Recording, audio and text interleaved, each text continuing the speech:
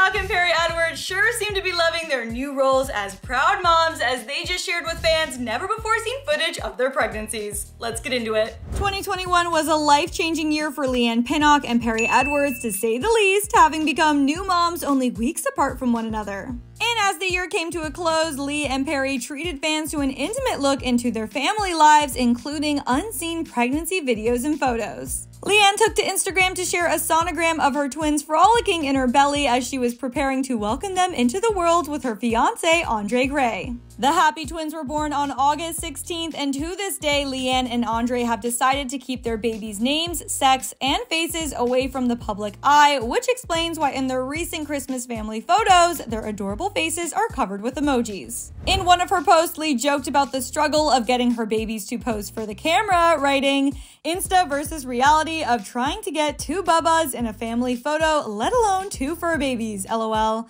Merry Christmas from the Gray Knock, sending everyone so much love. Perrie also shared a video while getting an ultrasound of her baby boy Axel, and though she's wearing a face mask, her eyes are sparkling with joy as she looks at the camera. And in another video of her carousel that she captioned, I cooked a whole human in 2021, Perrie shared with Mixers the exact moment she and her boyfriend Alex Oxlade Chamberlain found out they were having a boy during their gender reveal gathering. Okay, ready?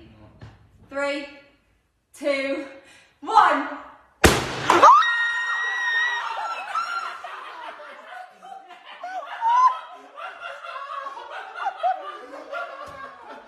Perrie also showed fans a video at the hospital after just giving birth with baby Axel sleeping in a bassinet on one side and Alex sleeping on a mattress on the floor on the other, all while she eats a sandwich. Both Perrie and Alex decided to let the world see their baby's adorable face, and in the last picture of Perrie's carousel, we get to see the most recent image of him she shared online, where he's dressed up as an elf posing in front of their Christmas tree.